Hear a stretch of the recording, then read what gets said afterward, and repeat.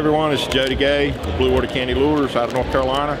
Uh, introduce you to a new product of ours. It's available at tackledirect.com or in the store in Egg Harbor. Uh, it's Mr. Wiggles, we call him. Uh, we call him that because all the good names were already taken. And uh, but anyway, it's a great, great tail to use. We have multiple uses for it. The striper fishery, for casting, jigging, trolling, whatever you want to do with him. Great on the back of a cobia jig for cobia fishing.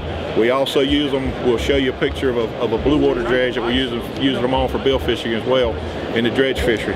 Show you how to rig this guy on a cobia jig here.